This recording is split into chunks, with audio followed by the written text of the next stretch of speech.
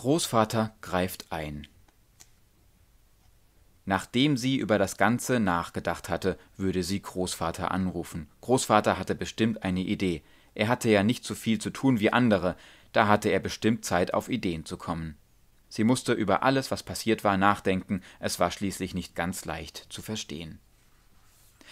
Das Krokodil war von Papas Pulli abgehauen und hatte sie in den Keks gebissen, und sie hatte ein bisschen Angst gehabt. Das Krokodil, das sie in jener Nacht gebissen hatte, war viel größer gewesen als das auf Papas Pullover, daran erinnerte sie sich deutlich.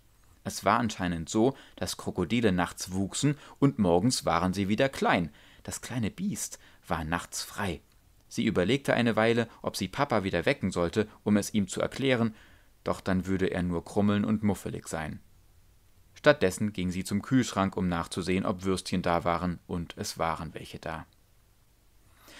Es war Sonntag und sie ging zu Papas Pulli, um nachzuschauen, ob das Krokodil noch da war. Aber es war nicht mehr da. Auf dem Pulli war kein Krokodil. Das Krokodil war frei und die Stelle auf ihrem Po war noch da. Es tat nicht sehr weh, aber sie sah im Spiegel nach und war sich fast sicher, dass man Abdrücke der Zähne sehen konnte. Das war der Beweis, dass sie das Ganze nicht geträumt hatte. Sie ging hinunter in die Küche. Nach einer Weile kam ihre kleine Schwester Moa die Treppe herunter und sagte Moa, Warmmüstchen Mam am Ina. Du sollst keine Kindersprache reden, sagte Mina streng. Außerdem soll man so früh am Morgen keine warmen Würstchen essen. Im Wohnzimmerfenster saß die Katze. Sie nannten sie Possi, weil Mama gehofft hatte, dass sie eine nette und possierliche Katze würde, aber Possi war manchmal ein bisschen vergrätzt, wenn sie ihr Fressen nicht rechtzeitig bekam. Dann war sie ganz und gar nicht possierlich, sondern sagte, jetzt gehe sie raus und fange Vogeljunge, wenn sie keine Leberpastete bekomme. Dann gab Mina ihr Leberpastete und Possi wurde wieder possierlich. Mina unterhielt sich oft mit Possi, wenn sie alleine war, aber nur dann, denn nur dann antwortete Possi ihr. Possi sagte nie, versuch doch zu verstehen. Possi, sagte Mina, heut Nacht ist ein Krokodil hinter mir her gewesen und sie hat mich gebissen. Kann ich was dafür? sagte Possi mürrisch. Aber ich habe Angst, dass sie heute Nacht wiederkommt, sagte Mina.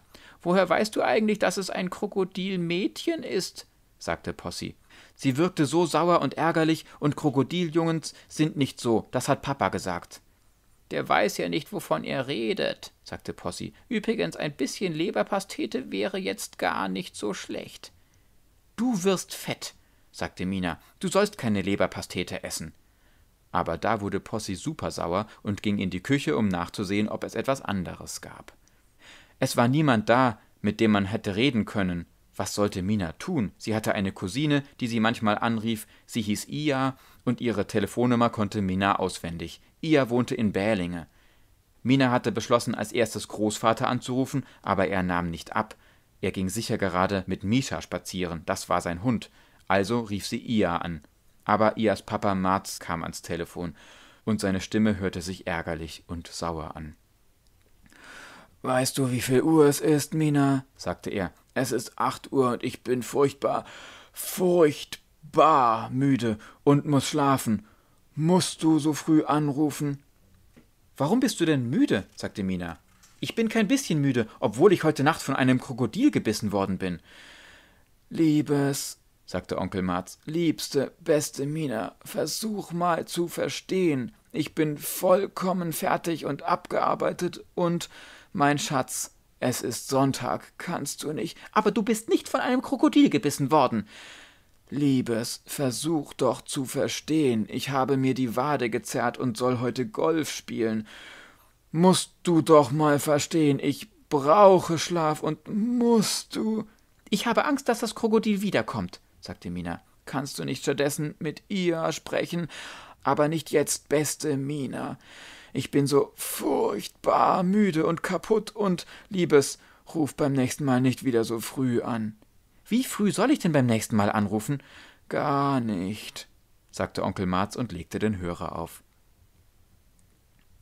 Mina setzte sich hin und überlegte, es schien hoffnungslos. Mama und Papa schliefen und Moa spielte ein Computerspiel. Sie war erst vier, aber im Computerspielen war sie top. Possi hatte die Speisekammertür einen Spalt weit aufbekommen, doch den Kühlschrank schaffte sie nicht, deshalb war es Mina egal. Aber mit wem konnte sie reden? Sie brauchte doch Hilfe in dieser Stunde der Not. Sie wartete eine Stunde, so lange wie Großvater brauchte, um am Morgen mit Mischa rauszugehen, und rief wieder an. Großvater meldete sich. Minas Großvater war ein hochgewachsener, schicker Großvater mit weißem Haar, der immer so lieb war und der nicht so viel zu tun hatte, denn die meiste Zeit saß er da und schrieb. Er hatte keine richtige Arbeit, sondern schrieb nur Bücher. Aber er legte nie den Hörer auf und seine Ratschläge waren echt super, obwohl alle anderen Erwachsenen fanden, dass sie schlecht waren. Er kannte auch prima Witze über Kacke und wenn sie beim Essen saßen, erzählte er manchmal Pupsgeschichten und das war so lustig. Aber dann wurde Minas Mama Jenny fast jedes Mal böse und nahm ihn am Arm und schubste ihn in die Toilette, damit die Kinder lernten, sich zu benehmen, und da musste Großvater zur Strafe eine Stunde lang sitzen. Wenn Großvater auf dem Klo eingesperrt war, weil er Pupsgeschichten erzählt hatte, durfte man nicht mit ihm sprechen, aber dann trickste Mina Mama aus. Sie schlich nämlich zur Klotür und flüsterte durchs Schlüsselloch, damit Großvater nicht weinte, und nach einer Weile hörte Großvater auf zu weinen, weil es ihn so froh machte, dass Mina Mitleid mit ihm hatte. Mina sagte dann durch das Schlüsselloch ins Klo ähm und du du du, denn das musste man sagen, wenn jemand traurig war. Und dann flüsterte er jedes Mal eine kurze und lustige Kack- und Pupsgeschichte durchs Schlüsselloch aber einmal kam Mama ihnen auf die Schliche und wurde supersauer und zog Mina an den Haaren weg von der Tür und Großvater musste die ganze Nacht auf dem Klo sitzen bleiben. Beinahe, daran erinnerte sich Mina beinahe ganz klar. Großvater war der cleverste und klügste in der ganzen Familie, obwohl er keine anständige Arbeit hatte, sondern nur schrieb. Aber das begriffen nicht alle, außer Mina. Und vielleicht Moor, aber sie war ja noch so klein. Und auf jeden Fall begriff sie nicht, was Possi sagte. Großvater hatte eine Hündin, die Misha hieß. Sie war klug und schön und liebte die Kinder, obwohl sie aussah wie ein Wolf und allen zur Last fiel, außer Großvater, der als einziger mit ihr ausging und ihr manchmal bei Tisch Leckerbissen gab, obwohl man das nicht durfte. Sie war in der sibirischen Tundra im fernen Russland geboren, ihre Eltern waren Schlittenhunde und Misha war 17 Jahre alt. In Hundejahren bedeutete das, dass sie 119 Jahre alt war und eigentlich älter als Großvater. Mischa sei groß wie ein Wolf und lieb wie ein Elefant, sagte Großvater oft. Sie wohnte bei Großvater und Gunilla in Wachsholm und manchmal, besonders wenn Großvater zu Besuch war und sich daneben benommen hatte und im Klo eingeschlossen war, legte Mina sich auf den Fußboden und benutzte Mischa als Kopfkissen und flüsterte ihr zu, wie dumm alle anderen außer Großvater waren und Mischa selbst. Das war spaßig, aber sie konnte es leider nur machen, wenn Großvater zu Besuch war. Sonst wohnte Großvater bei Gunilla. Sie waren verheiratet und Gunilla war lieb und schloss Großvater nie im Klo ein. Sie war Großvaters Frau, aber nicht Minas Großmutter. Sowas kann vorkommen, wie Gunilla immer sagte. Großvater hatte Mina einmal gesagt, er hätte Gunilla geheiratet, weil sie so ein hübsches Heck hätte. Und als Mina das nächste Mal zu ihnen kam, hatte sie die Hecke angeschaut, die das Grundstück umgab, und danach zu Gunilla gesagt, so großartig sei das Heck doch gar nicht, sie verstehe nicht, warum Großvater sie ausgerechnet deshalb geheiratet habe. Aber Gunilla hatte nichts kapiert und dumm aus der Wäsche geguckt und gefragt, was für ein Heck? Und Mina hatte auf die Hecke gezeigt und gesagt, dass Großvater Gunilla nur deshalb geheiratet habe, habe er gesagt. Da hatte Gunilla gesagt, Großvater sei eine Dichternatur und deshalb rede er so viel von der Natur, zum Beispiel von ihrer Hecke, denn das machten Naturliebhaber so. Gunilla war Feministin, hatte Großvater erklärt, und das hieß, dass Großvater selber putzen musste und nie fragen durfte, ob er im Haushalt mit anfassen könne, denn das sollte so selbstverständlich sein, dass man nicht extra fragte aber manchmal kapierte Gunilla schlecht, zum Beispiel wollte sie nicht, dass Großvater und sie sich noch einen Hund anschafften. Großvater schlug einen kleinen Hund als Gesellschaft für Mischa vor, aber Gunilla meinte, dann würde es noch mehr Unordnung bei ihnen geben.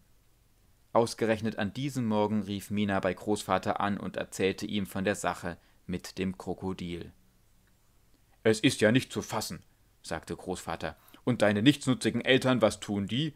Nichts, sagte Mina, absolut nichts, und Onkel Mats will nur schlafen. Was hat er denn gesagt?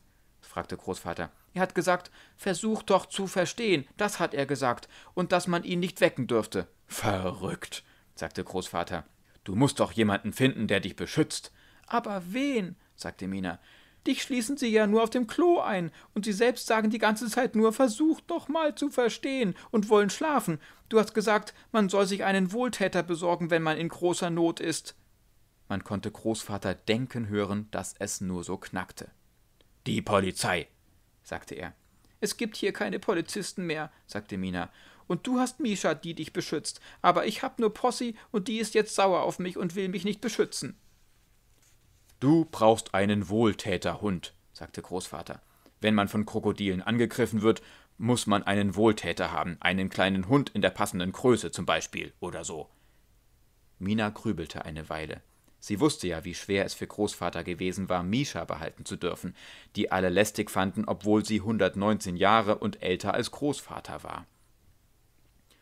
Einen Hund, sagte Großvater, den du die ganze Zeit als Wohltäter bei dir haben kannst.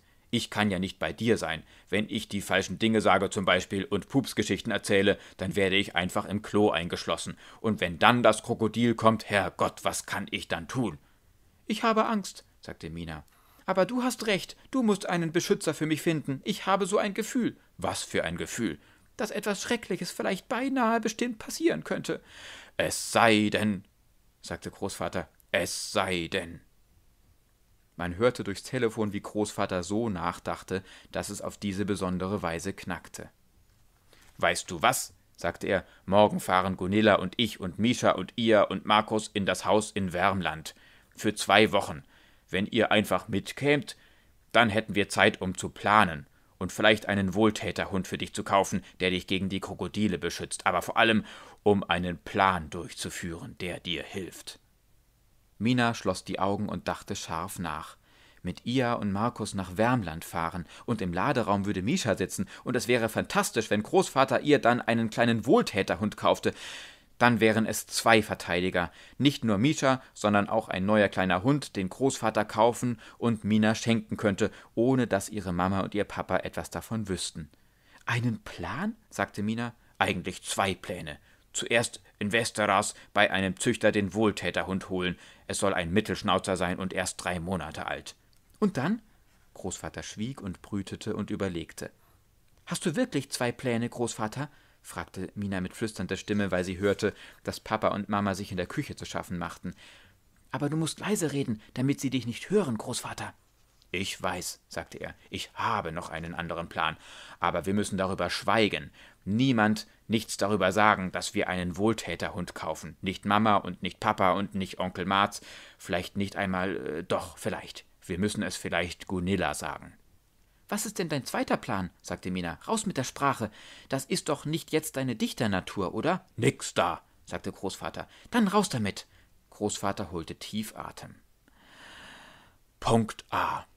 Wir müssen dir einen Hund als Beschützer besorgen. Es soll eine Hündin sein und sie soll Elsa heißen. Aber das ist nur ein Plan auf weite Sicht. Das Wichtigste ist Punkt B. Wir müssen uns ins Haus nach Wärmland begeben, um eine Expedition zu planen. Wenn man Angst hat, dass die Krokodile wieder angreifen, dann muss man etwas Großes tun, so dass ein Angriff eines Krokodils einem wie ein ganz kleiner Scheiß vorkommt. Man muss zum Beispiel eine Expedition durchführen, und dann muss man zusammenhalten, alle zusammen, und etwas tun, um eine große Gefahr zu überwinden. Comprendo? Manchmal sagte Großvater solche komischen Wörter, aber wenn man nur nickte und so tat, als verstände man, dann war er beruhigt und machte weiter. Ich weiß eine Expedition, sagte Großvater, hinauf zum Dreihöhlenberg. Wer die gemacht hat, kann nie mehr Angst haben vor nichts. Ist es gefährlich? fragte Mina ängstlich. Nicht, wenn man die Mannschaft zusammenhält, und wenn man die Expedition durchgeführt hat, kann einen nichts mehr erschrecken, gar nichts. Auch kein Krokodil? Ein Krokodil schon gar nicht. Und expedieren wir ohne Mama und Papa? Nur wir und ihr und Markus und Moor, aber sonst keiner. Und Gunilla? Ja klar, das habe ich doch schon gesagt. Gunilla soll dabei sein. Die kann Pups Geschichten aushalten, denn sie ist Feministin. Sie darf mitmachen, aber nur im Basislager am Haus. Und Misha. Selbstverständlich macht Misha mit. Wir müssen eine starke Truppe haben, schnelle und mutige Hunde und kluge und ausdauernde Kinder. Sind das wir? Das seid ihr. Und wir werden die Expedition zusammen durchführen. Mina fühlte, wie ihr Herz schlug und schlug. Stark, Großvater, sagte sie. Respekt. Doch dann gab es da eine Sache, die Großvater nicht erzählt hatte. Nämlich, dass er selbst schon seit langem einen Berg besteigen wollte, der der Dreihöhlenberg genannt wurde und der im Osten von dem Haus in Wärmland lag, aber allein konnte man das nicht. Und Mischa, der schwarz-weiße ostsibirische Leika, Großvaters Hund, wusste etwas, das niemand sonst wusste, seit sie im Juli dort gewesen waren. Es gab dort tief im Wald ein Geheimnis oder vielleicht eine Gefahr, die drohte oben am Dreihöhlenberg. Mischa wusste etwas, oder vielleicht wollte sie sie warnen.